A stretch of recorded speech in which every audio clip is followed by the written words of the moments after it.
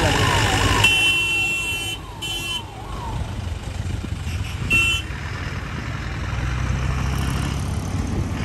ਜਿਹਾ ਫੇਰ ਲੱਗ ਆ ਲੰਬਾ ਜਿਹਾ ਫੇਰ ਲੱਗ ਲੰਬਾ ਜਿਹਾ ਪੂਰਾ ਹੀ ਉਹ ਪਰੇ ਤੱਕ ਪੂਰਾ ਪੂਰਾ ਹਾਂ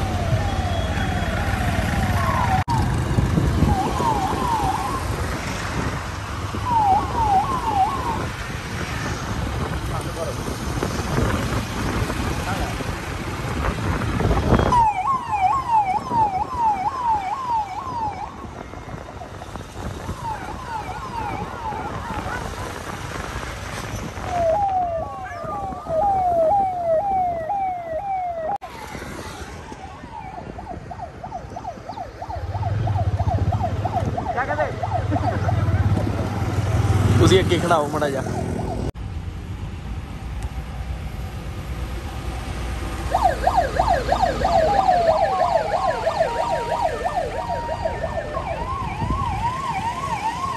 ਜਮਾ ਉਧਰ ਚੱਲ ਜਮਾ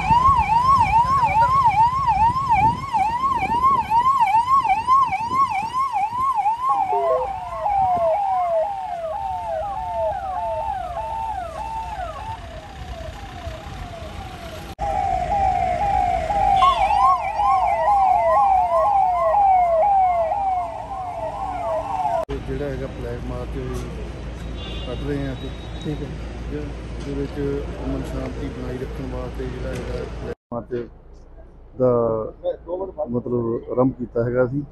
ਇਹਦੇ ਵਿੱਚ ਨਾਲ ਸਾਡੇ ਆਈਟੀਪੀਪੀ ਨਾਲ ਐਸਐਚਓ ਸਹਿਬਾਨ ਸਾਡੇ ਨਾਲ ਜਿਹੜੇ ਮਤਲਬ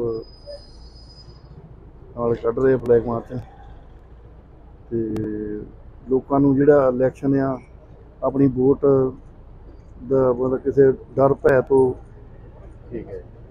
ਵੀ ਆਪਣਾ ਵੋਟ ਦਾ ਇਸਤੇਮਾਲ ਕਰਨ ਕਿਸੇ ਦੀ ਮਤਲਬ ਜੇ ਕੋਈ ਲੱਗਦਾ ਹੈਗਾ ਤਾਂ ਪੁਲਿਸ ਨੂੰ ਜੇ ਕੋਈ ਡਰਾ ਧਮਕਾ ਰਿਹਾ ਜਾਂ ਕੋਈ ਕੋ ਕਰ ਰਿਹਾ ਹੈਗਾ ਤਾਂ ਪੁਲਿਸ ਨੂੰ ਇਮੀਡੀਏਟਲੀ ਸਾਨੂੰ ਇਨਫੋਰਮ ਕਰਨ।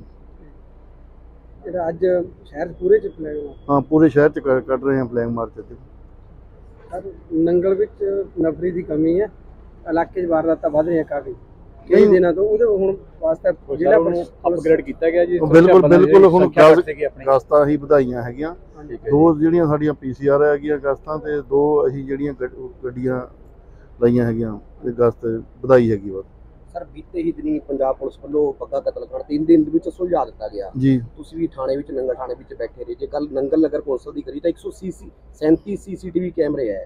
ਉਦੋਂ ਦੱਸਿਆ ਜਾ ਰਿਹਾ ਪੰਜਾਬ ਪੁਲਿਸ ਦੇ ਅਧਿਕਾਰੀਆਂ ਦਾ ਕਹਿਣਾ ਵੀ ਤਿੰਨ ਜਾਂ ਚਾਰ ਕੈਮਰੇ ਚੱਲਦੇ ਸੀਗੇ। 100 ਬੰਦ ਜੇਕਰ ਪੂਰੇ 137 ਚੱਲਦੇ ਹੁੰਦੇ ਤਾਂ ਅੱਜ ਉਹ ਤਿੰਨ ਦਿਨ ਤੋਂ ਪਹਿਲੇ ਨਾ ਪਕੜੇ ਜਾਂਦੇ ਕਿਉਂਕਿ ਤੁਸੀਂ ਐਸਐਸਪੀ ਸਾਹਿਬ ਨੇ ਕਿਤੇ ਨਾ ਕਿਤੇ ਲੋਕਾਂ ਦਾ ਧੰਨਵਾਦ ਕੀਤਾ ਹੈ। ਉਹਨਾਂ ਵੱਲੋਂ ਘਰਾਂ ਦੀਆਂ ਦੁਕਾਨਾਂ ਤੇ ਸੀਸੀਟੀਵੀ ਕੈਮਰੇ ਦਿਖਾਏ ਗਏ ਉਹਨਾਂ ਨੂੰ।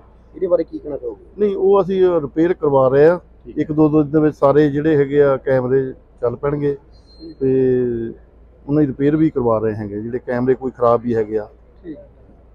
ਥੈਂਕ ਯੂ ਠੀਕ ਹੈ ਜੀ।